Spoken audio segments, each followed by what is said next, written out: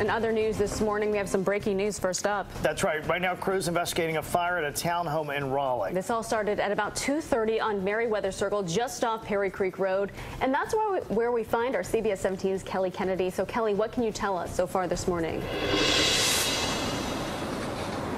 Well, it's New Year's Eve and certainly a very scary way to end the year for the Raleigh man who lives in this townhome behind me. I'm told he was fast asleep when this fire started in his bedroom. Luckily, his next door neighbor was able to wake him up. Now, I'm told this fire started at about 2.40 this morning.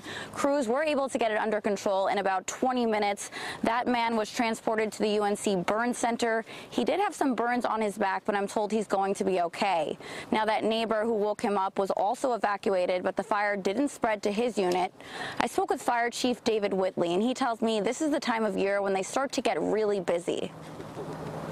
This is typically our fire season when people start having heaters and fans and they tend to use chimneys and different things and they smoke outside and they discard cigarettes improperly.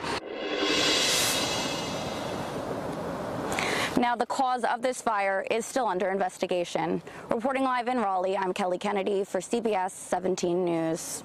Kelly.